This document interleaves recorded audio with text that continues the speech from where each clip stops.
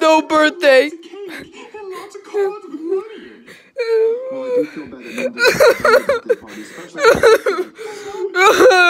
this is so sad. No birthday. No birthday.